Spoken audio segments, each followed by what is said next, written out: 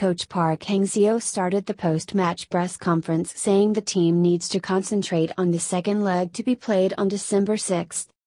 I'm satisfied with the players. They have been working non-stop throughout the whole game and I want to thank them for that. But we cannot stop now, as we have to focus on the second leg in Hanoi, Park said. In the halftime break, I told the players to look back at the previous games for more motivation. And they did play better. From my point of view, Phan Van Duc is the man of the match. He contributed in our style of play and had a goal for his own, Park added. The away victory gives Vietnam a bit advantage, because the second leg will be played at home with the support of 40,000 roaring fans. However, Park Hang-seo saw room for improvement.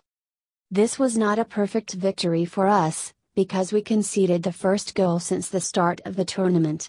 We also missed many chances. That's why we will have to do some analysis, improve our finishing skills and prepare for the second leg, he said. On the other side, the Philippines' head coach Sven-Goran Eriksson said he was not surprised with the result.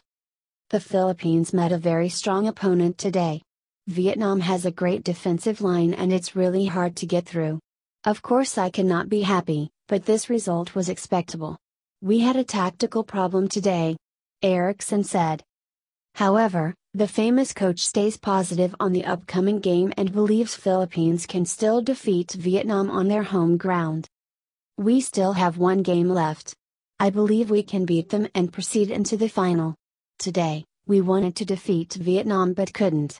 In the second leg, we will come to Hanoi and play like we got nothing to lose, he said. On Thursday, December 6, Vietnam will face Philippines again, this time in My Dinh National Stadium in Hanoi. The video is sponsored by CIntronic.com.